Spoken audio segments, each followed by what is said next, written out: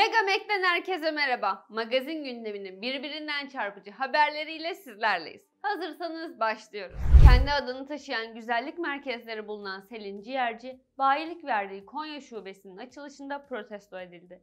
Ciğercinin olduğu merkezin önüne gelen kalabalık bir grup Konya'dan defol, ya Allah bismillah Allahu Ekber diyerek bağırmış ve grup olay yerine gelen polisler tarafından dağıtılmıştı. Memleketim dediği Konya'da uğradığı sözlü saldırı sonrası Instagram hesabından açıklama yapan ciğerci yaşadığı korku dolu anları şu sözlerle anlattı. Yaşadığım korku ve acıyı kelimelerle anlatmakta zorlanıyorum. O anlardan aklımda kalan tek şey yanımdakileri koruyabilmek için çırpındığım.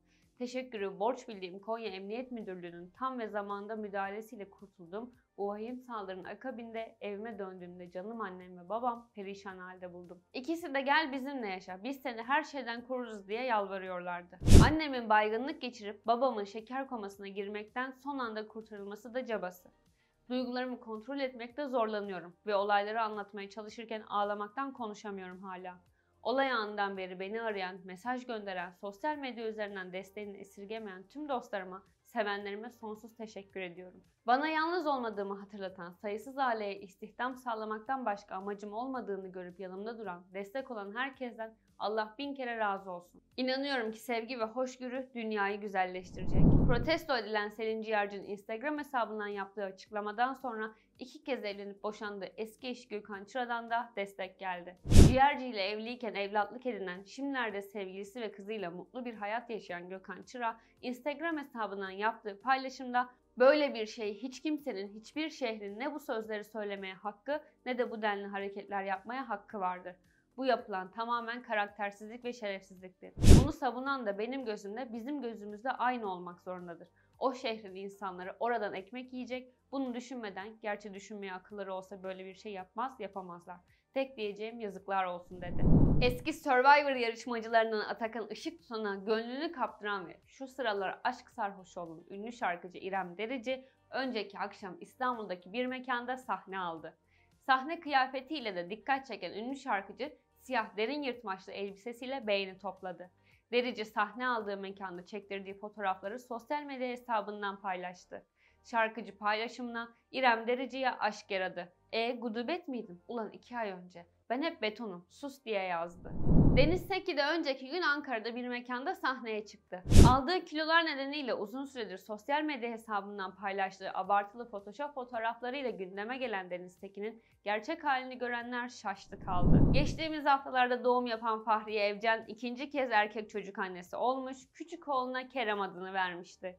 Anne olunca dizi projelerine ara verse de reklam anlaşmalarıyla hayranlarıyla buluşan güzel oyuncu Fahriye Evcen çocuklarının bakımı ile bizzat kendisi ilgileniyor.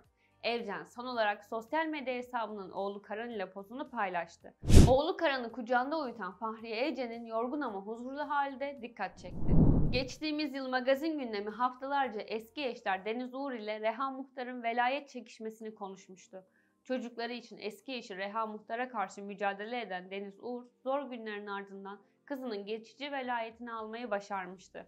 Mahkemede Reha Muhtar'ı yalnız bırakmayan Seren Serengil Muhtar için dünyanın en iyi babası demişti. Sosyal medyada ses kayıtlarına rağmen Reha Muhtar'a destek veren Seren Serengil'e tepki yağmıştı.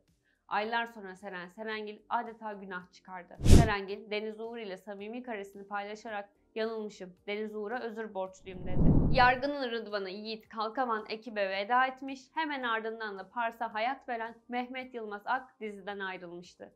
Peş peşe ayrılıkların yaşandığı dizideki rolü biter bitmez Kalkavan imajını değiştirdi.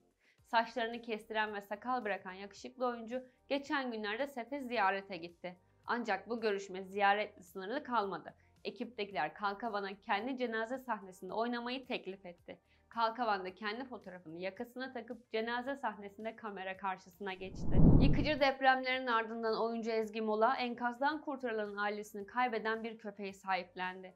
Adı Zeus olan köpekle çekilen fotoğraflarını sosyal medya hesabından yayınlayan Ezgi Mola, Zeus Kahramanmaraş'tan geldi. Sahiplerinden bana emanet ifadelerini kullandı. Paylaşımıyla kısa sürede hayranlarından yoğun ilgi gören Ezgi Mola'nın fotoğraflarına Hazal Kaya, Eda Ece, Songül Öden, Seda Sayan ve Şebnem Bozoklu gibi birçok ünlü isim yorum yaptı. Bugünlük bizden bu kadar. Gündemin çarpıcı magazin haberleri için kanalımıza abone olmayı, videomuzu beğenmeyi ve yorum yapmayı unutmayın. Bir başka Megamek videomuzda görüşmek üzere, hoşçakalın. mm-hmm.